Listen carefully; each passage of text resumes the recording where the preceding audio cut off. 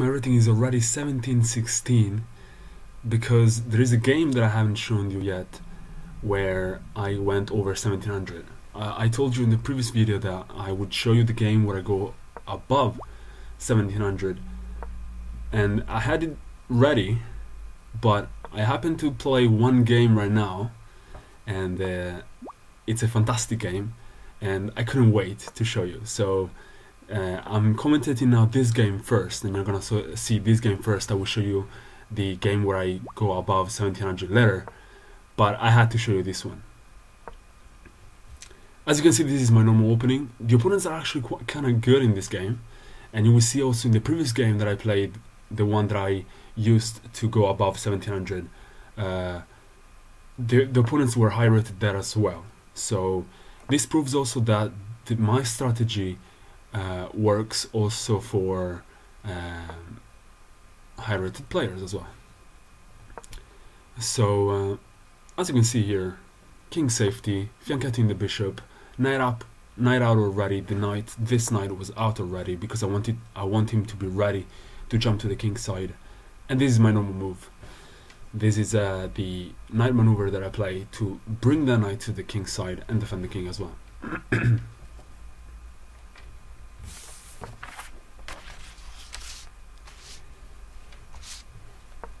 as you can see in this game um, blue is likely to be the most dangerous person because um, I'm directly on his right and usually attacking the players on the right is good. And he's the highest rated player as well. And right now he promoted and I expected green to take the queen right now because that would make sense right taking the blue king with a pawn it does make sense right? A lot of sense right? No. To green it didn't make sense. It didn't even make sense to push the pawn and try to promote himself. He just uh, decided that it was time to develop the knight at that point. So that was good. So what I do now is I just uh, expand my start to expand my pawns. So and also use this bishop here to defend the knight because I'm always kind of scared that people would take and then I take with the pawn and leaving my king very open. So I push so that uh, I can defend with the knight too.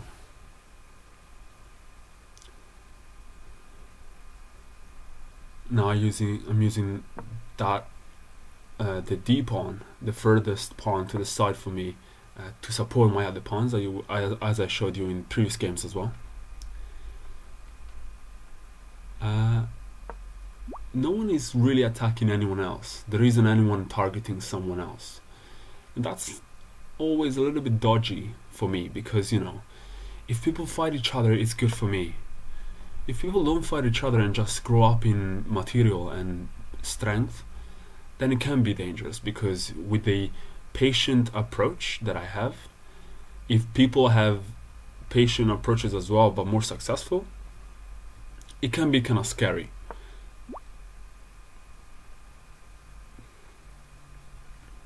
As usual, now that I can, I expand towards the king. Uh, I, I, expand the uh, queenside pawns now that I can, and I will show you in, a, in another game, the game that I was talking about earlier. Uh, I pushed one pawn only and promoted, uh, but in this case, it's uh, it's not really recommended because the, the the center of the board is controlled by uh, blue and green you see. This line is controlled by blue this file is controlled by green so it's gonna be very hard to promote using only one pawn. So that's why I'm keeping my pawns together. The bishop there is way better than before and doesn't have to defend the knight anymore because there is a pawn here now so it's fine. My knight is not under attack. And to be honest, right now, this pawn is a bit annoying me because I can't push this guy up. Because one thing you have to keep in mind, also, now it's very clear, but usually try not to push pawns where they can be attacked by other pawns from behind. So even if this pawn wasn't here, this pawn wasn't here, I would think twice about pushing this pawn because it could push this pawn twice and then attack my pawn from behind. So that's something you should keep in mind as well.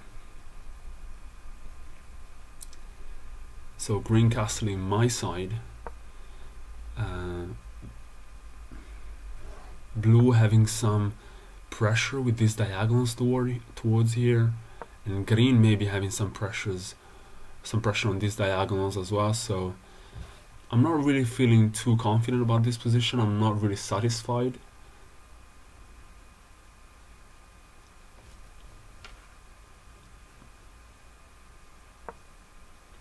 I play this only because it gives me the chance, maybe the opportunity at some point to push the pawn. But as you can see here, blue with this move, that I think uh, it's a good move for blue. Uh, puts more pressure on me. And now I think I made a dodgy decision. But I don't really know what the best move here is. Because I can't just let him take, I think. Because if I do, then I would have to take with this pawn. And, and this pawn becomes you see when I take the pawn here will become the base of my pawns and it's kind of too centered to be the base. Also because it's under attack by the rook possibly and the way I can defend it is only with the bishop here but it can be kicked away. So I don't like I don't like my base to be here. So I prefer to have a very solid pawn here and a pawn here that can be supported with the other pawn I don't know if it was the best decision. Maybe there was uh, something better right now the bishop was as I say hanging. It wasn't really hanging but you know it's always good to keep all your pieces defended so the opponents don't even try to attack them. Because they, if they do then other opponents might attack other pieces at the same time. For example blue could have played here attacking my bishop and then green could have taken here and then I'm losing material uh, for sure. So as you can see here green with this move um, makes it impossible for me to push because I don't want to give the opponents any chance to exchange pieces. So, yeah. So I'm not feeling too confident right now because green has some diagonals against me. Blue looks like he's in my territory here and my my usual solid pawn structure is not that solid because this pawn is isolated almost because I can't push this guy. And this pawn is isolated for sure. So it could be better.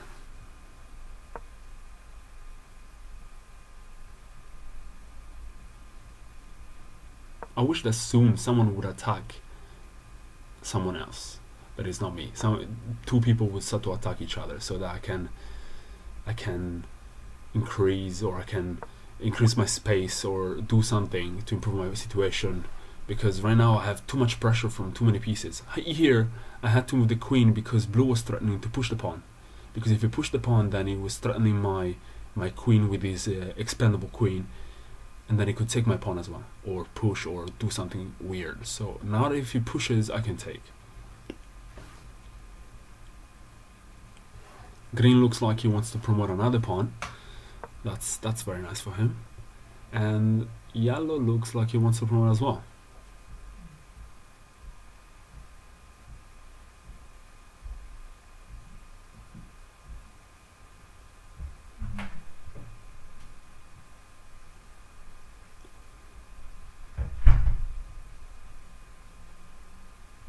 Yellow attacking green's queen.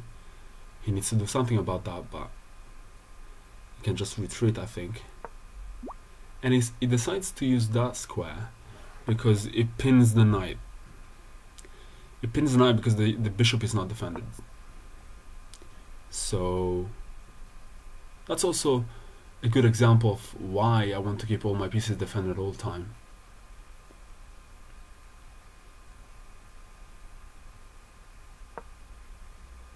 Yellow keeps pushing and is grabbing the center basically. So with those two pawns. And now since my rook is not here anymore that I move it to the side and I defended the bishop with the queen I can push the pawn and support this pawn that was a, a weakness for me. And also now that the bishop and the queen are not on the same diagonal of my knight I can also push my pawn maybe at some point so my pawns are connecting again, finally. but as you can see I have no chance to promote right now because this pawn is blocked can't push. And even if I can push this guy up then there is the uh, green pawn taking and stuff so or yellow as well taking so.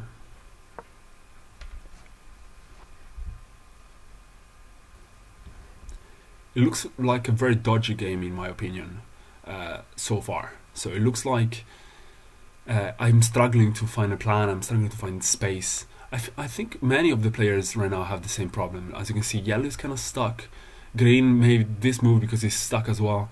Blue blue made this move I think he's stuck as well. As you can see all these pieces are just cramped all here. So maybe he's threatening to come in but I have enough defenses so it's a very waiting game with blue and green with extra queens but no one exchanged material apart from me and blue one pawn only. So it's a very tense game. It's like everyone is afraid of making mistakes or afraid of attacking. As you can see here green starts to make a move and here the turning point of the game. Green attacked yellow and this is something you don't want to have because you should always think can my opponent any of my opponents attack one of my pieces. For example my queen here can't really be attacked by any piece or it can be attacked by the bishop if it comes in here but then I can take. So now blue took a knight and I was really hoping that yellow would take with the with the bishop the queen instead of moving away the queen because for me blue is the danger. So I wanted blue to lose some power. And that's exactly what happened. But now I can as, as I said I have time to expand the scenario to be more.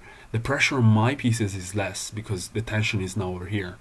So now blue makes this move I think because he's just mad at yellow because yellow could have just taken back with the I don't know but wait if he took back with this then green would have taken the bishop with the queen. So I don't know why blue made this move then because it's clear the green is gonna move away so mm, interesting. Anyways now yellow is in a very bad situation with the the, the only knight remaining is pinned. Then the bishop is not defended. Uh, the rooks are not coordinated. The bishop here is kind of open as well. So not good at all.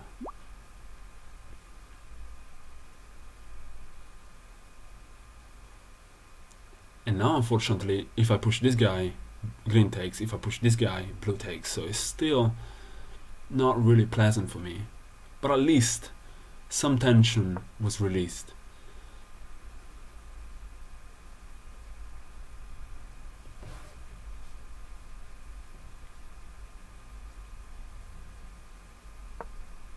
And somehow yellow manages to lose in a very very few moves lose most of his pieces. So now green puts even more pressure on this diagonal knowing that the bishop now is defended by the rook but the queen is only worth one point. So if he can take his five points rook takes and then bishop takes green will get 10 points while yellow will get only one point. So that's bad for him. And now blue attacking the pawn.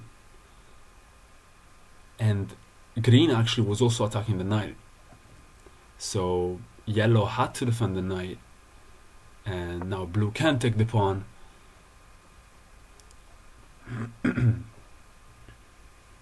I still can't push my pawns unfortunately. And for example I can't even push this guy because there is the bishop taking. So I'm just I'm just waiting for the right moment right now. The moment is coming. Uh, it's getting better and better for me but it's not the right moment just yet. You can see it's not the right moment. It's still too crowded over here and I can't expand my pawns and I can't really actually attack pieces in general or without preventing any exchange so the game is uh, it's gonna end quite quickly now as you can see. So stuff is gonna happen really quickly so now yellow is desperate it's just taking pieces randomly and I get one pawn for free and there is pressure on the rooks, so that's really good for me. So I was like, okay, let me pick up some material from yellow as well. Since you're all, since blue and green are enjoying the party of taking pieces, why don't you let me take some pieces as well? He took another pawn, for example. And now the knight is completely free. Can be taken with this. The knight was the only piece defending the rook, so I can take the rook. And the bishop can be taken as well. And that's what happens. Green takes the bishop, but unfortunately he defends the rook. So here I had the difficult choice between taking this rook, but it was defended, taking this rook, but it was defended, or taking this rook, if it was defended, or something else.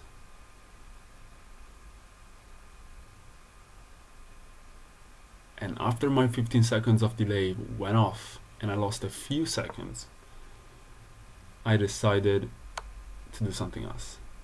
To move away my bishop, would, this would mean that blue could take a rook for free, so getting 5 points as well. So now green is on 19 points, blue 11 points, I have only 2 points. Unfortunately, I wasn't really able to uh, exploit the situation, uh, yellow's situation but I don't really know how I, I could have got more points without exchanging material. So now a knight fell off here as well, so uh, yellow lost a knight as well. The rook is en prise, so blue can take the rook as well. So it's not really going well. And green takes the chance to promote because now he knows the rook is falling as well. So uh, yellow as an option of taking a queen that is only worth one point because it was a pawn or losing a rook. Sorry and losing a rook or saving the rook. So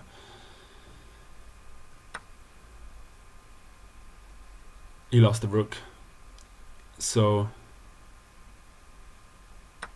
now it, he takes he takes the queen. So he got a queen now so that's good for him but it's not gonna help at all. But as you can see the, the center is clearing up a little bit more now. So now I could have the chance to push this guy up. But as you can see I'm way behind on points. I get to take a pawn and it's not the value of the pawn that is important but it's the fact that now I can push this pawn up and then maybe take and push again and that chance is a very good uh, opportunity for me but now something incredible is going to happen. And yellow is going to make an incredible move, followed by an incredible move by green. So it's not right now. It's very soon though. It's next turn, I think. So right now, my, my in my mind, I was thinking like, okay, as you can see from my mouse movements, I was thinking, okay, let's push the pawns now in the center. It's time to push the pawns. It's time to move my queen away and push the pawn of the, the side pawn here so that I can do something because I need to react. It's really good that I'm not more than 20 points away from the other guys because if I'm more than 20 points then it's scary. But still, I need to do something now. It's been too long without any points. Any good points. And now yellow takes. And now it's mate over here all right? But it's a queen sacrifice. So I could catch up the, the, the deficit but it's a queen sacrifice because then yellow could take. The only chance I have is that green would check like this like this like this or that. And it does check. So it, it gives me an incredible opportunity to check mate 20 points jumping the lead of the point system taking yellow's queen and then having to fight only against green. And that's incredible.